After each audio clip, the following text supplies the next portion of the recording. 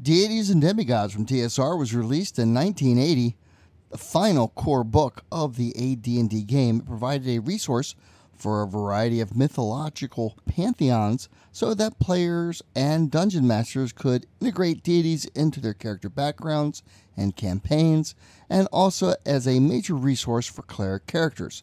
However, the inclusion of some fantasy fiction, the Cthulhu mythos, Melnibonéan mythos, and the Nehwon mythos, had stirred a bit of controversy and propelled this supplement into a legendary status of its own. This week, I'll peel back the cover on this classic AD&D book and attempt to dispel many of the rumors and find the truth of the matter, as well as take a deep dive into this classic AD&D supplement coming right up on RPG Retro Reviews.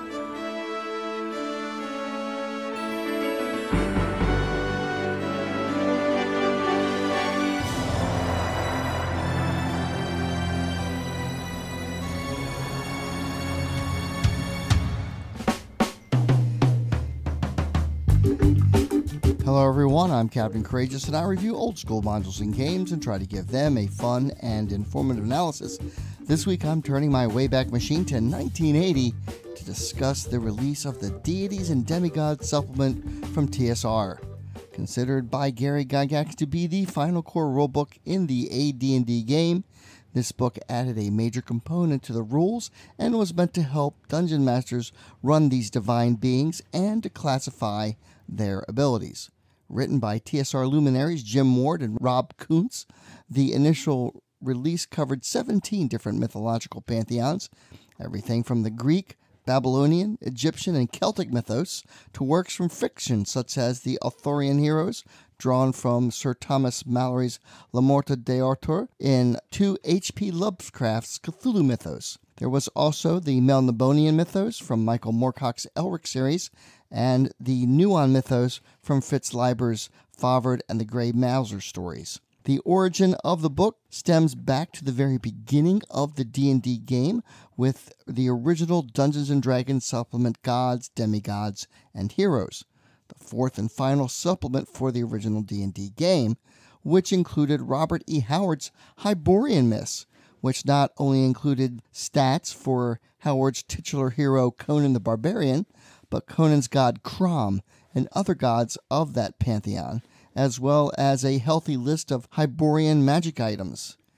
The next section included the Melniboné myths, game stats for Elric, the sword Stormbringer, and the deities in that pantheon. Thus, Gary Gygax considered deities and demigods the final part of the AD&D game, and he stated so in his Sorcerer's Scroll article in Dragon Magazine number 14 when he wrote, AD&D will consist of four books, three main parts, and a supplement. The Monster Manual and Gods, Demigods, and Heroes will fit into the original game system with a bit of care on the part of the Dungeon Master, if such is desired. But all in all, Advanced Dungeons and Dragons is a new game. Upon its release, this new supplement was of great interest to Dungeons and Dragons players at the time. I remember quite fondly enjoying looking at the AD&D game statistics for such heroes as King Arthur, Sir Lancelot, and the other knights of the Round Table. Looking at what spells Morgan Le Fay and Merlin knew. What level magic user was Merlin anyway? Now you could look such things up. But also of interest was how a dungeon master was to adjudicate running these massively powerful divine beings, and how a cleric might integrate the worship of their deity more cleanly into their character background. The book's authors, Jim Ward and Rob Kuntz, do a great job with this. First, there are charts of ability scores above 18, which I believe was the first time ability scores that high had ever been officially released. Then, some standard divine abilities, that all deities share, such as the ability to gate and teleport to anywhere on any plane without error, and other logical things such as true seeing, comprehend languages, and so on. Then, in the next section, they go into great pains to discuss how a dungeon master might adjudicate these divine beings of power. There's a bit of a bad rap this book has, where many DMs simply ran the gods as additional monsters for their player characters to face, but such use of these divine beings is not encouraged here, and I attribute such nonsense to poor DMing or simply people just having a bit of fun at the game table. But I'm sure we've all met that guy who would passionately insist that his character slew Zeus on Mount Olympus and retired as the new head of the Greek pantheon or other such nonsense. In the clerics and deities section, the various powers are further defined into different categories demigods, lesser gods, and greater gods. This has a gameplay effect as to what spells a deity can bestow upon their followers. Thus, first and second level spells are actually gained through a cleric's direct knowledge and faith. Third through fifth level spells are granted by the deity's servants or supernatural minions. A note of importance here is that demigods cannot grant spells above fifth level. Sixth and seventh level spells are granted to a cleric by their god directly. Also discussed is what happens when a cleric strays from the path, so to speak, and commits a transgression what spells are lost, and how a cleric can repent after such.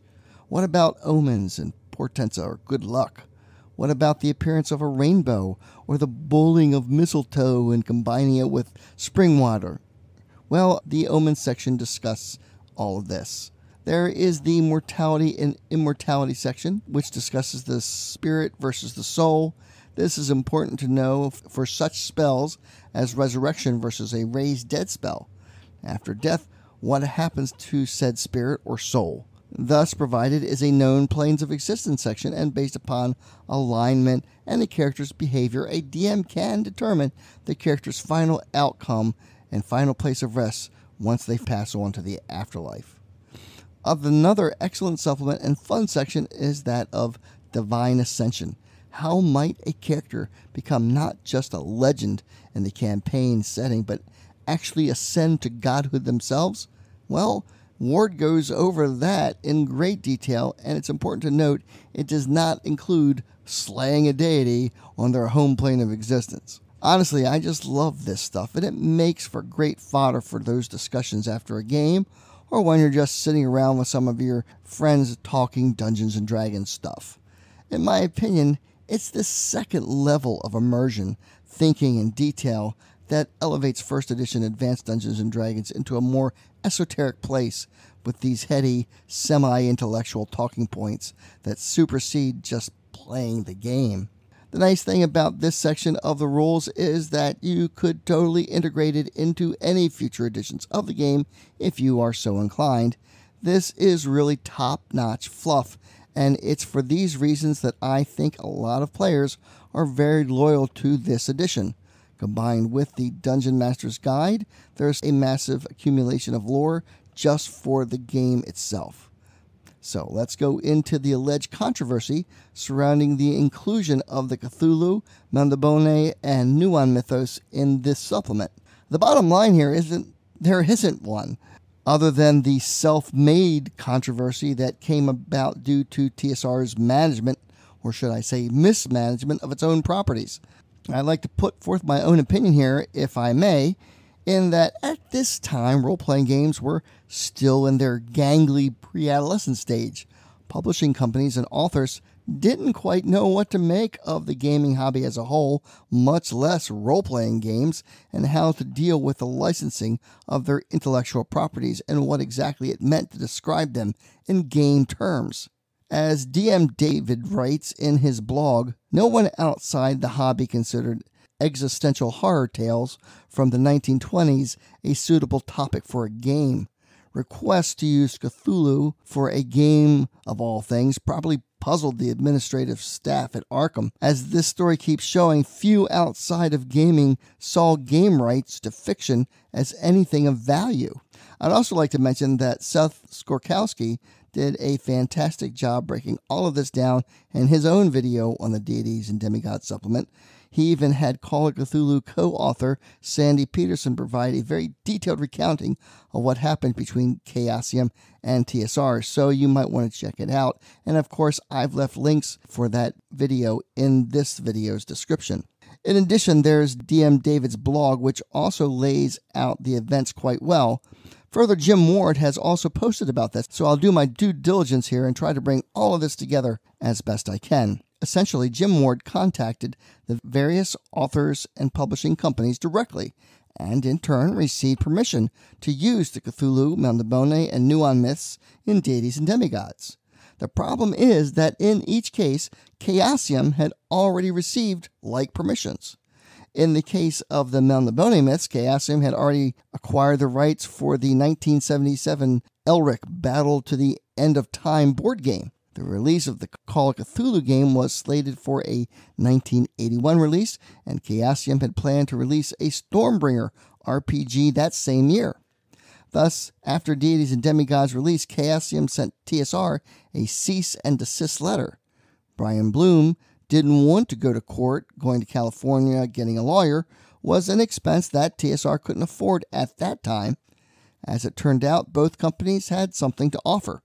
Thus, an accommodation was sought, and the result was TSR could continue to publish Deities and Demigods as is, with a simple special thanks notice to Chaosium in its second printing, which you can see here. And in exchange, Chaosium got to use the AD&D and D&D stats in their upcoming release of Robert Asprin's very excellent Thieves World supplement, which, by the way, I did a very extensive review a few years ago, and you can check it out here. Anyway, boom, problem solved, right? Everyone's happy, move on. What happened next, in my opinion, is just indicative of the state of poor management of TSR at the time. For the third printing of the supplement, Brian Blume elected to remove the Cthulhu and Melniboné sections of the book and just run with fewer pages. Author Shannon Appelcline, writer of the historical books on role playing games, Designers and Dragons, suggests Blume sought to soothe the satanic panic crowd. This would in turn lead to the renaming of the book to Legends and Lore a few years later, a bowing to which that did not sit well with Gary Gygax in his Sorcerer's Scroll article, The Future of the Game in Dragon Magazine 103, where he was talking about the AD&D game's new revisions, he wrote, "Now the Deities and Demigods Cyclopedia, recently retitled Legends and Lore by others as a sop or bowing to pressure from those who don't buy our products anyway." For those candid enthusiasts who do not read between the lines, as they say, I do not particularly approve of the retitling of the work. More likely, it seems, Blume did not want to mention the competition in a TSR book, which might fuel interest in such and lead customers to a competitor's games. Silly, I know, a rising tide lifts all boats. The side effect of the removal of these pantheons was the beginning of rumors among players that Chaosium sued TSR, that Jim Ward plagiarized the Cthulhu and Melniboné myths, and so on rumors that never would have happened had Blume just left them in place. Now, if you're trying to figure out what printing you have, it's actually pretty easy. The collector's site, the Acaeum, breaks it down pretty well. The first printing has the Cthulhu and Melniboné myths included, but no Chaosium, thank you. The second printing still has both myths, and now there's the Chaosium thank you on the inside cover page. The third printing removes the Cthulhu and Melniboné myths completely keeps the Chaosium thank you, and most interestingly, still states on the back cover that there are 17 pantheons included, even though the page count had been reduced from 144 pages to 129 pages. From the fourth printing on, the Chaosium thank you is removed, and the back cover correctly states there are 15 pantheons covered. Despite rumors to the contrary, the Nehwon mythos was never removed from the book, and the story behind that, in my opinion, is truly an appalling look into the state of TSR management philosophy at the time. Fritz Leiber had actually stayed at Gary Gygax's house for a week in 1977, and Gygax considered him a friend. Thus, Jim Ward was able to contact Leiber and secure authorization to use his Nehwon mythos relatively easy. Gary gave him Leiber's phone number. However, Leiber had previously given such rights over to Chaosium years earlier. Leiber was a terminal alcoholic by this time, and Chaosium founder Greg Stafford had thought to help out someone whose work had brought him much joy. When Stafford contacted TSR, pointing out that they had the better claim, Brian Blume suggested that Chaosium could just sue Leiber. To his credit, this horrified Stafford, Leiber was one of his literary heroes. And given the state of the man's health, he had no desire to wreak further havoc on the man's life and simply just dropped it.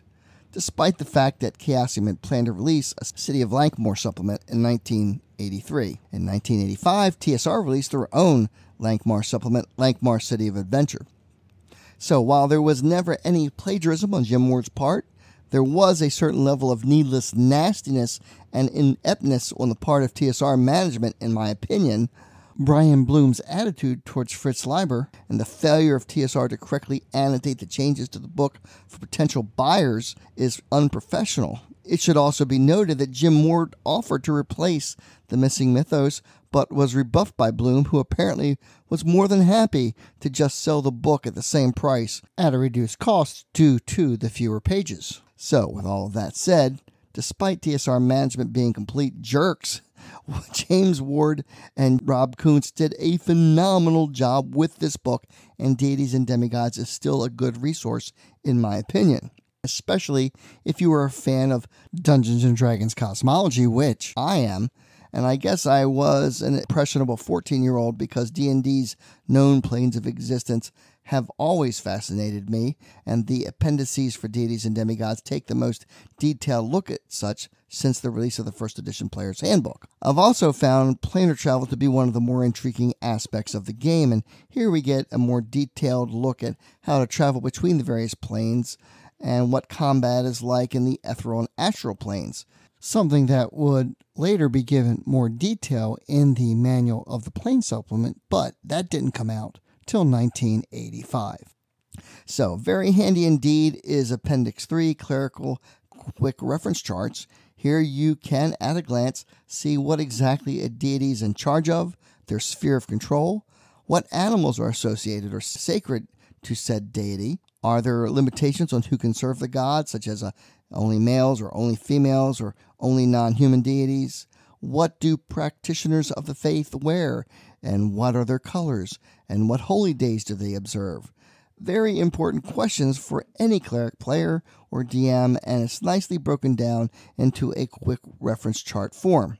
I would also be remiss if I didn't mention the very excellent and fascinating non human deities section. What gods do bugbears, lizardmen, and orcs worship? What about elves, dwarves, and halflings?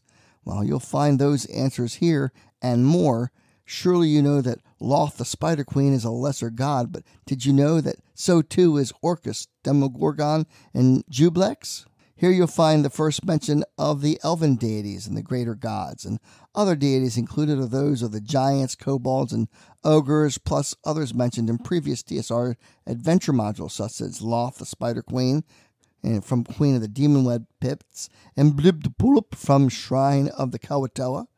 There is so much classic Dungeons and Dragons lore compiled into a single volume, and to me, that makes it endlessly fascinating. Much of my own personal love of the game is rooted in what's presented within these pages.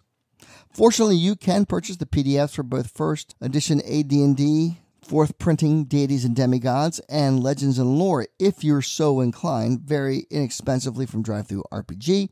I provide a link for both in the description. They are both on sale for less than $4 right now.